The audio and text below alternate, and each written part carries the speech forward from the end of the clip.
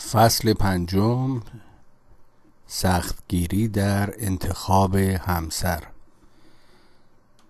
در امر جمال مبارک ازدواج بسیار سهل و ساده و برعکس طلاق بسیار ممتنع و دشوار است. زیرا پایه و اساس امر بهایی بر تعلیف قلوب و تحبیب نفوس نسبت به یکدیگر است. بنابراین مسائل غیر مهم از قبیل زیبایی ظاهر و مسائل مالی و بعضی شعون دیگر نباید مانع ازدواج شود. اصل انتخاب همسر بایستی مبتنی بر وحدت در ایمان تفاهم و وحدت در اهداف مشترک باشد.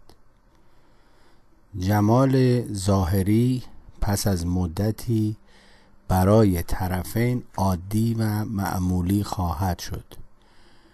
به علاوه مسائل مهم خانوادگی از قبیل تربیت اولاد و همفکری و همگامی و اشتراک مساعی در حل مسائل به قدری طرفین را به خود مشغول می دارد که جمال ظاهر روز به روز کم اهمیت تر می شود بدیهی است که انسان باید همسری را که برای زندگی آتیش انتخاب می کند دوست بدارد و به او عشق بورزد. ولکن عشق بر پایه صورت ظاهر عاملی ناپایدار و موقتی خواهد بود.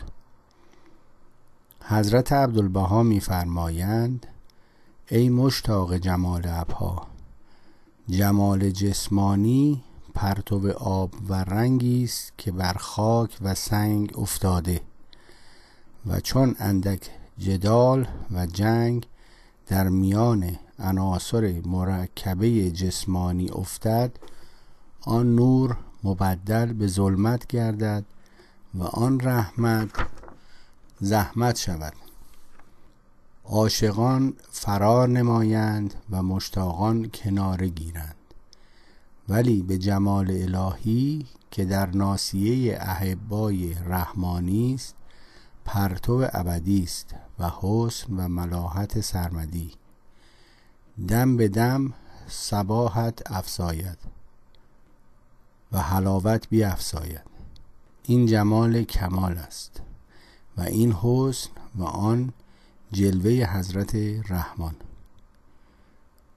و علیک و تهیت و سنا این این نقل از جزوه خطی. در حال حاضر جوانان ما در انتخاب همسر به زیبایی ظاهری بیشتر از هر چیز اهمیت می دهند و وقتی که از لحاظ حسن و وقتی که از لحاظ حسن منظر شیفته و فریفته کسی شدند دیگر مسائل را به کلی فراموش می کنند و پدر و مادر را هم وادار به چشم پوشی از سایر مسائل زندگی می نمایند متاسفانه این گونه ازدواج ها دوام و بقایی نخواهد داشت. و پس از تمتع ظاهری و معمولی شدن روابط عشقی گرفتار اختلاف سلیقه ها و اختلاف مشارب و عادات و اختلاف هدف های دیگر می گردند و بالاخره یا مجبور به جدایی می شوند یا اگر هم دوام بیاورند احساس خوشبختی واقع نخواهد نشد. و مادام العمر در آتشی که خودشان افروختند خواهند سوخت. روی این اصل نه فقط در مورد زیبایی ظاهری نباید سختگیر بود بلکه باید آن را جزء مسائل فرعی و ثانوی به آورد.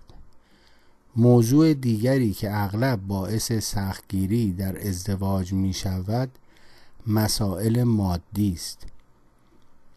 تجربه انقلاب اخیر ایران به تمام خانواده های محترم بهایی نشان داده که مال و منال دنیا قابل اعتنا نبوده و نیست. ما بهاییان ایرانی که اکنون در گوشه و کنار کشورهای مختلف دنیا در به در و آواره ایم به خوبی مستاق این بیان جمال اقدس ابها را در لوح مبارک اهدی به چشم دیده ایم که میفرمایند ثروت عالم را وفایی نه. آنچه را فنا اخذ نماید و تغییر پذیرد لایق اعتنا نبوده و نیست مگر علا قدر معلوم. تجربه نشان داده در اختلافات خانوادگی مسائل مالی همیشه از مشکلات مهم بین طرفین بوده است و هرچه طرفین ثروتمندتر باشند میزان رنج و عذابی که بایستی در رفع اختلافات مالی تحمل نمایند بیشتر است. ثروتمندانی که گرفتار ازدواج نامناسب شوند در جمیع مراتب و مراحل رنج بیشتری را متحمل می شوند برای اکثریت مردم ثروت بلای جان است بدون اینکه خودشان متوجه باشند. بدیهی است به فرموده مبارک بدیهی است به فرموده مبارک ثروت و مال دنیا علا قدر معلوم برای گرداندن چرخ زندگی ضروری است. ولی ثروت نباید تعیین کننده سرنوشت انسان گردد. وسیله است در اختیار انسان که باید با عقل و فراست از آن حسن استفاده نماید. ولکن نباید انسان خودش را عبد و عبید ثروت و کسب و اندوختن مال کند. همسر بدون ثروت ولکن با کمال و متین و همفکر و همگام انسان را خوشبخت می کند و در عوض همسر ثروتمند ولی بدون کمال و متانت و همفکری و همگامی انسان را بدبخت و تیر روز می کند و چنین شخصی چه زن و چه مرد هرچه ثروتش بیشتر باشد رسوایی و ناراحتیش برای خود و همسرش بیشتر است. یکی از دوستان بزرگوار خانواده ما قبل از ازدواج به این جانب چنین نصیحت نموده بود که برای ازدواج سه لام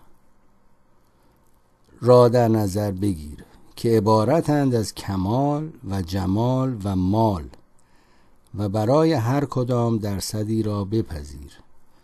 او پیشنهاد می کرد که درصد کمال هشتاد و پنج درصد جمال ده و درصد مال پنج باشد.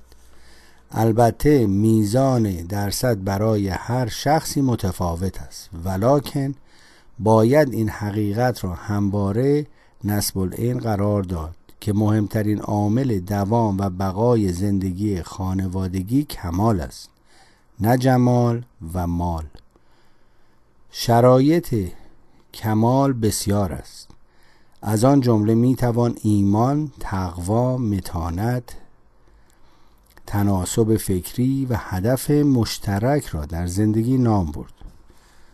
ما بهاییان معمور به محبت و الفت با عموم مردم جهانیم و در ازدواج نیز طبق دستور دیانتمان انتخاب با جنس بعید توصیه گردیده و وصلت با تمام مردم دنیا از هر نژاد و مذهب برایمان مجاز است. حضرت عبدالبها میفرمایند خداوند بیمانند زن و مرد را آفریده که با یکدیگر در نهایت الفت آمیزش نمایند و زندگانی کنند و حکم یک جان داشته باشند. زن و مرد دو رفیق انیس هستند که باید در غم یکدیگران شریک باشند. چون چنین باشد در نهایت خوشی و آسایش دل و جان در این جهان زندگانی کنند. و در ملکوت آسمانی مظهر الطاف الهی گردند و الا در قایت تلخی عمر به سر برند و هر دم آرزوی مردن نمایند و در جهان آسمانی شرمسار باشند. پس بکوشید که با یکدیگر مانند دو کبوتر در آشیان آمیزش دل و جان نمایید. این است خوشبختی در دو جهان. هدیه ازدواج صفحه 9